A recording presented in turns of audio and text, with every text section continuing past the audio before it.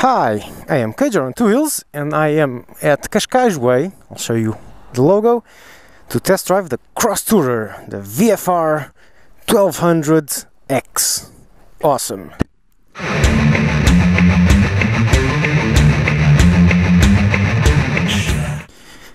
So I'll do the walk around on a more cool scenic location and I just might insert it here or maybe not. Oh, this is heavy. But just for the record, this is 275 kilograms, which is hmm, 500, 500 and a lot pounds. Ooh, chunky foot pegs, really big foot pegs.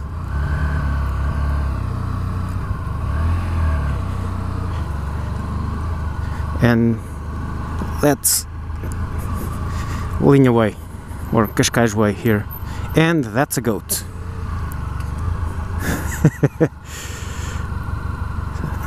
so, very first impression, it is heavy when stopped and it is very tall. Let me see if I can actually flat foot this. Can I? Is it possible? I am 1.74 meters tall and nope, no flat footing at all. Let's put a flat foot on the left side. And I have to shift me myself slightly to the left. It is silky smooth, considering I've been test driving KTMs all week. Single cylinders KTMs, this is quite a difference. and it's also surprisingly easy. Although this clutch is very heavy.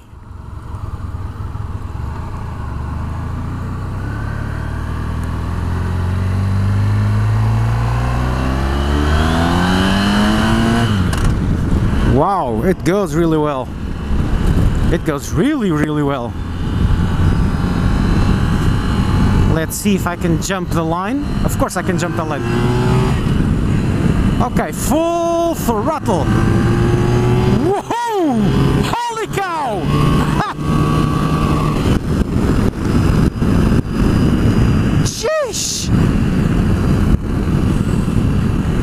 Is some speeds! and this is only 130 uh, horsepowers. Well, all this aerodynamics really, really helps it get up to speed. That was so fast getting to up to 200s. Whoa, and it felt so comfortable getting up to 200s. And this little whoa was because I just felt the same effect as I did on the Super Tenere, which is when I lean it more than X, it suddenly tends to want to drop which is pretty odd.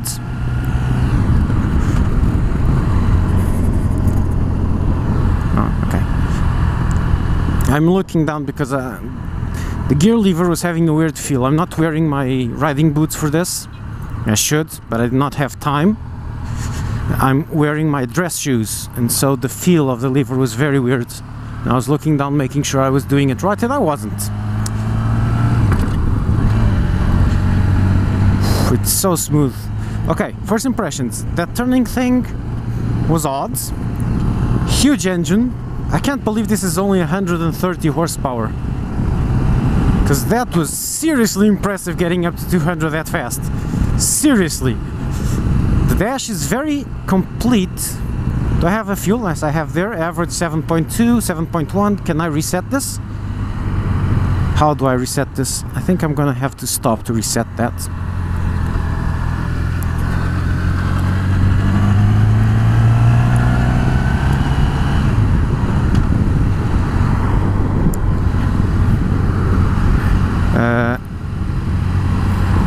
FCD average. Oh this is the instant. This is the average. This should be to reset. Reset the average deck. Okay I think it's reset now.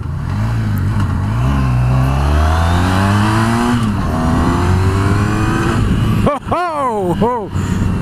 Whoa okay let's try second gear.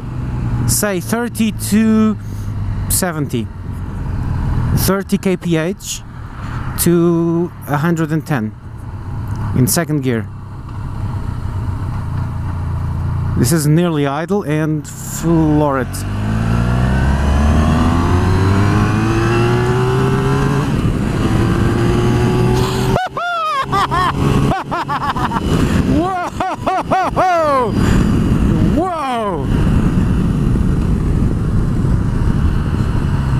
Whoa, that's that's fast. Not only that, it's silky smooth all the way.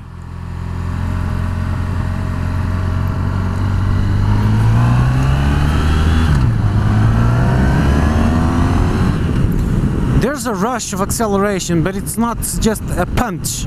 It it's gradual. The, the first half a second or so is really gradual. So you can just if you jerk the throttle it's not going to shoot it shoots a bit but for example let's let me try and show you. Listen.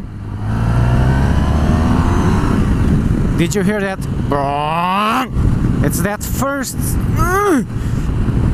feels a bit like as if it had turbo lag when you're at low revs. It only has that power from 3 up. Let's see at 4 how it goes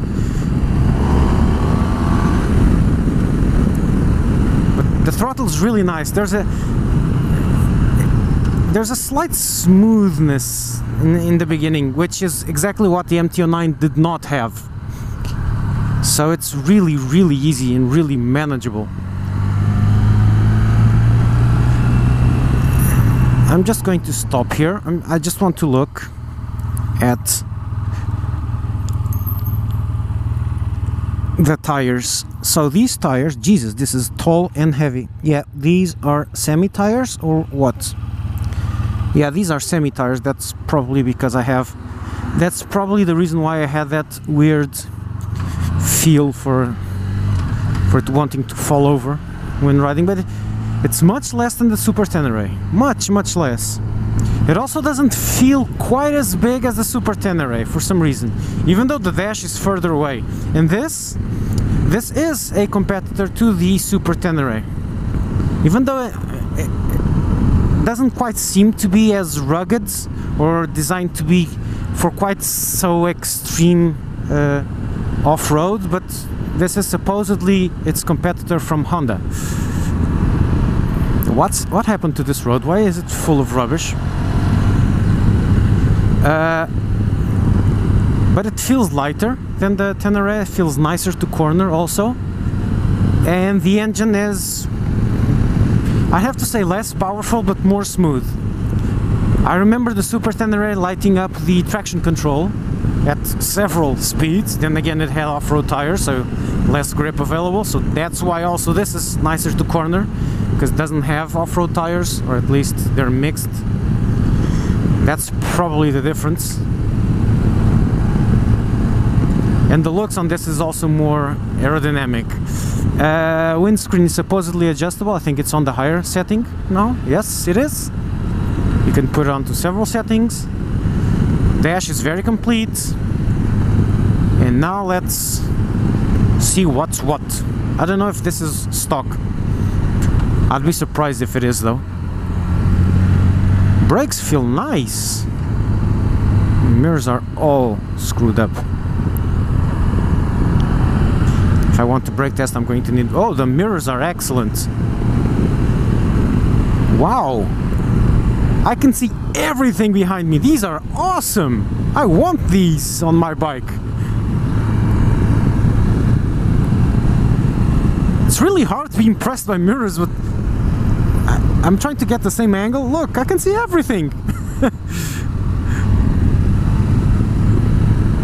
In comparison, the KTM ones were usually little postage stamps from which you could maybe see a bit of the roads on a lucky day. Now the twisties are about to begin.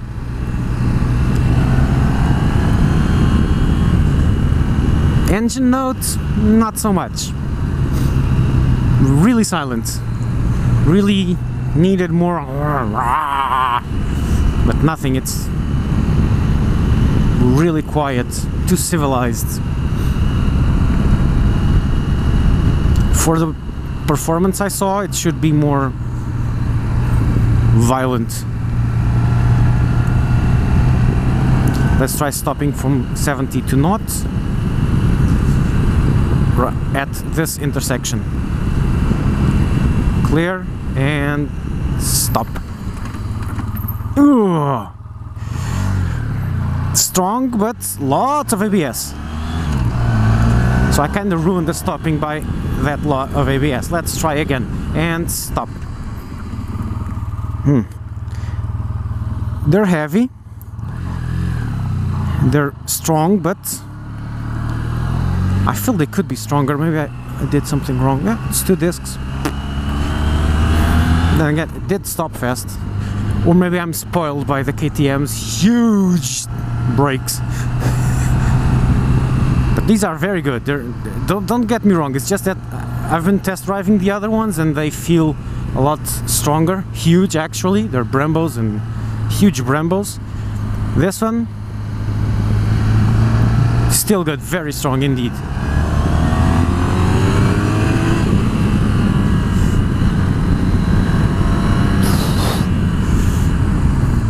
Oh yeah, now this is braking. Yeah, these are properly sized brakes.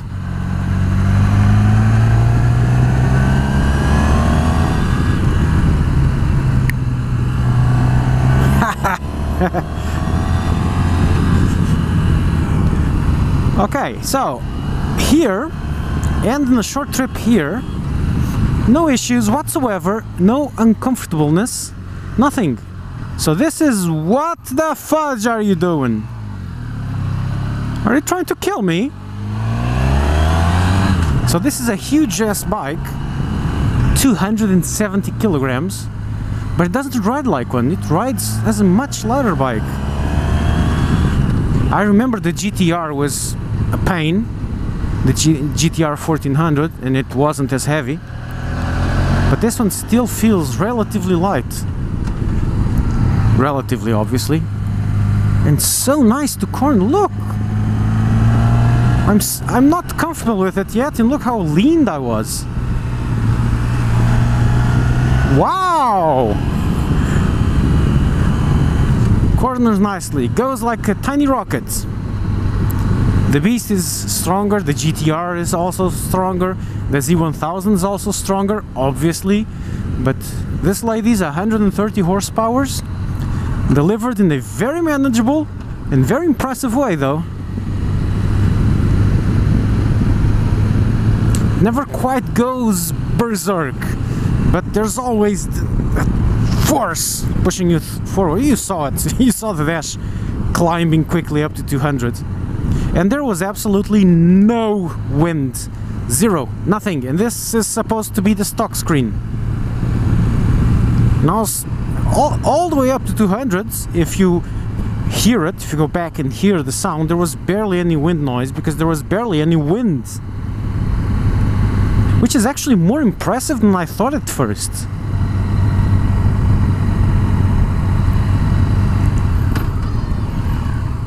Ooh, bonk. This is the only off-road I'm going to do with this one. Because I've never done actual off-road with it and as you can see I'm very comfy with it because it's surprisingly stable and easy to manage at slow speeds, even parking speeds, etc. But still, for example, I'm trying to reverse and there's no way I can do that. it's impossible, it's too heavy. But when stopped at lights, etc., I can manage it just fine. So there's some clever weight distribution going on here. So now let's go for the walk around. This is the VFR 1200X. Front to back, you've got spoked wheels front and back.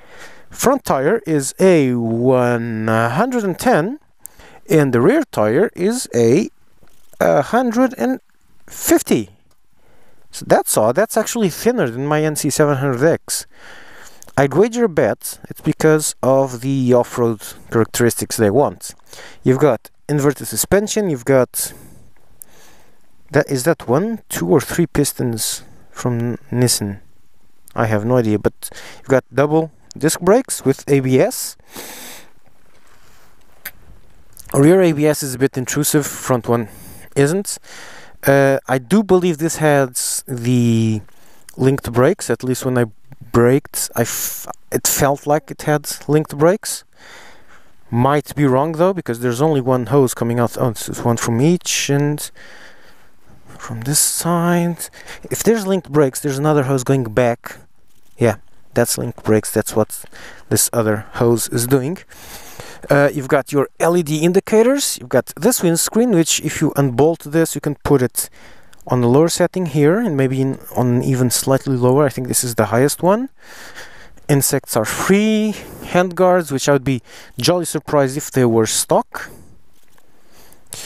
A beautiful, beautiful paint scheme, matte white, with this fantastic Honda logo.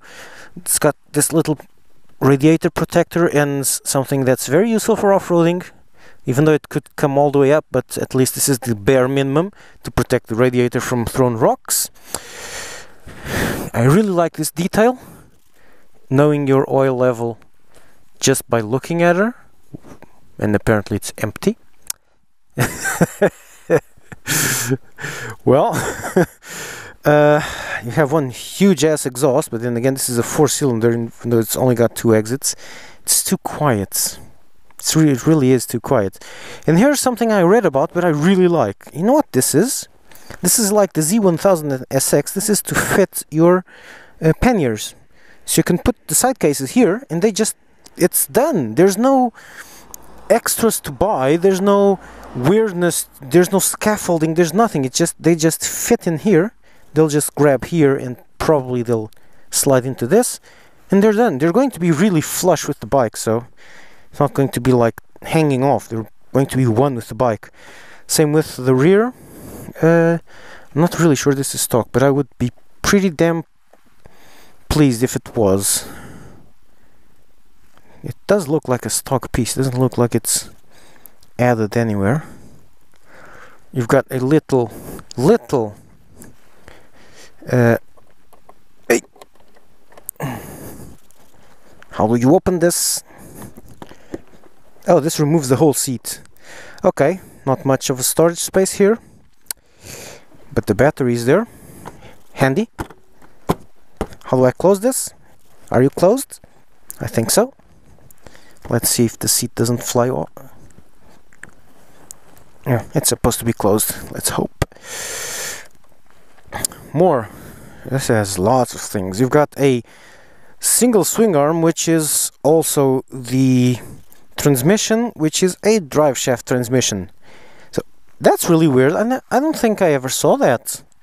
Yeah it's a swing arm and the swing arm is the drive shaft. Did the Super Tenere have this? I don't remember. Hmm weird. Okay.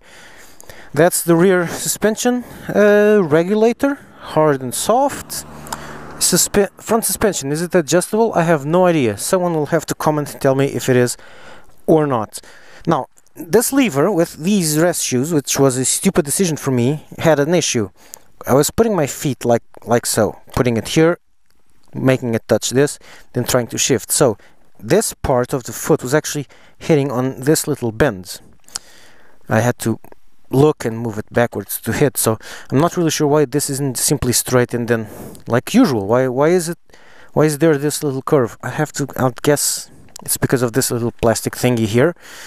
But yeah that's why I was always looking down.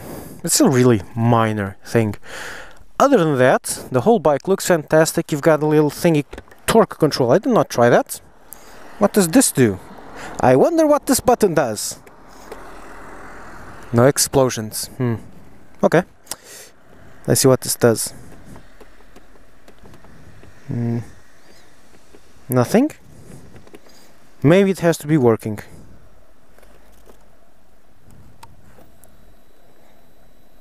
Ah.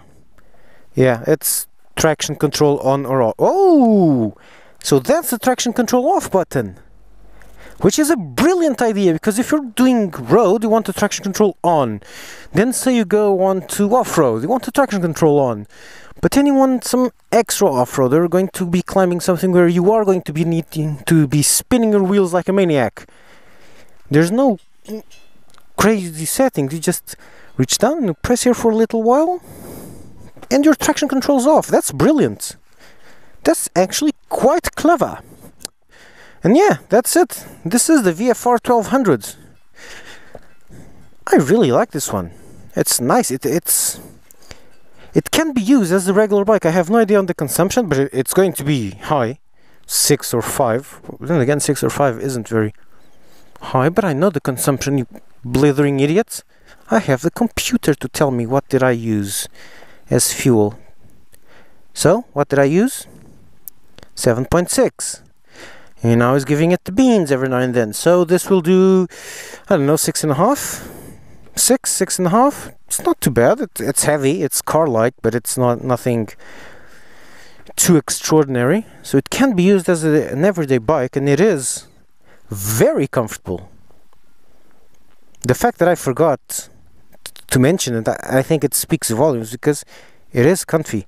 It's not quite as a, a stretched leg position as in the Super Tenere, but it's close. So I took it completely out of its element into inner city or inner town twisties and just look at this just look how comfy it is going low speeds going tight cornering at low speeds low revs I'm at one and a half. It's complained a bit but it still went. Less than 2000 rpm and it's easily going. There's a car coming. And even though I can only reach look at my feet my foot that's only one side of one side of the bike because I, I can't do that on both. It's really tall. And even being really tall it's really stable. It's really nice to ride so it's proven this can be used every day provided you remember to put your foot down when you brake because it's really heavy. Even though it's really heavy it doesn't feel like it.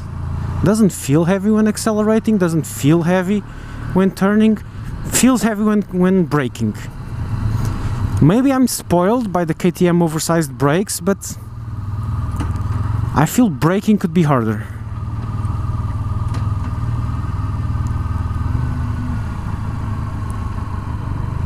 This is exactly the opposite of these what these bikes like to do.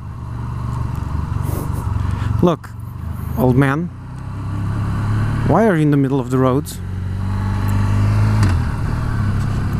And yet, it's not super agile, okay? It's a 275, take it easy man.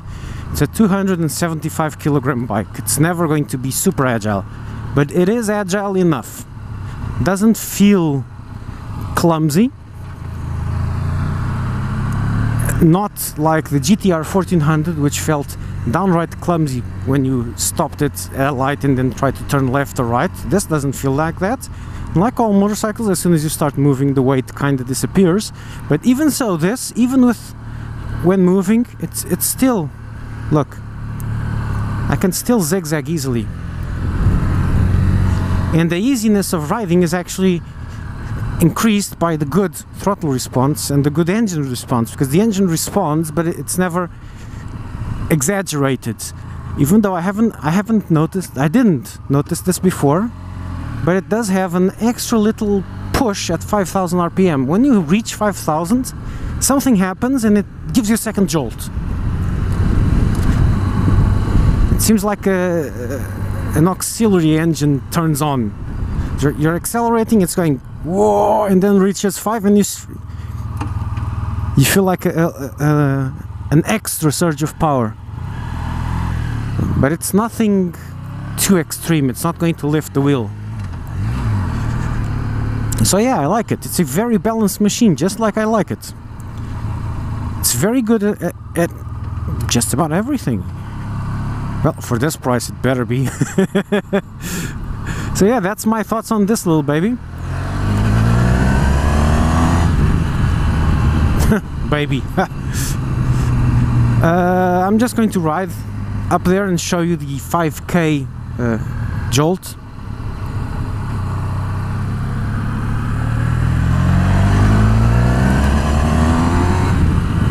Felt I felt that. Did you see my head tilting slightly backwards? I'm going to relax a bit to exaggerate that backwards movement so you can see it.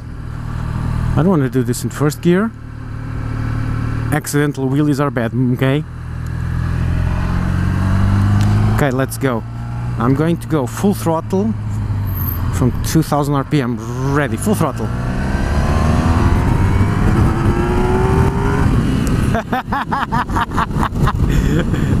Awesome engine.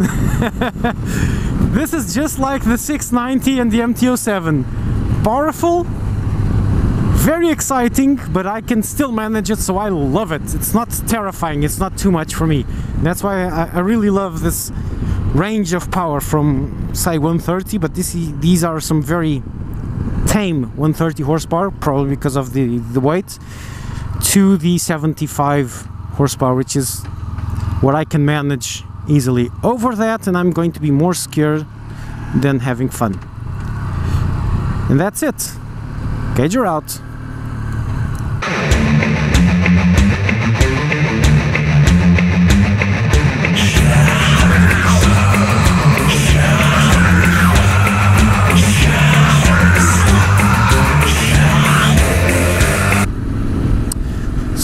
So, Super Yamaha Super Tenere or the VFR 1200X Cross Tourer? Depends. Because they have slightly different purposes. Even though they're on the same thing, the big adventure bike, the Super Tenere is a big adventure bike with which is meant for off-road and roads, while the Cross Tourer is meant for roads and off-road. It's just that slight difference. You can use either in any of the roles and they will do nicely but they have slightly different emphasis. And that's why one looks very sleek it's very aerodynamic and it looks really smooth and the other one looks rugged looks rough ready to tumble ready to drop. You know if you if you make it just fall it's not going to break itself apart. And and to prove that, you know which one of those I'm speaking of when I say this, right? So yeah, if I had to choose, it would depend on what I would do. Me, personally, since I don't know how to do off-road, I'd go for the Cross Tourer. You guys with supermotos would probably go for the Super Tenere. Both are great bikes.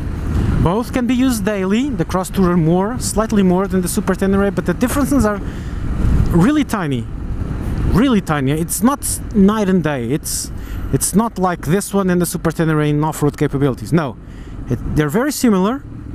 It's just details. And to prove it, the test test drive machine I tested on the Super Tenere had full off-road tires, and this one had semi off-road tires.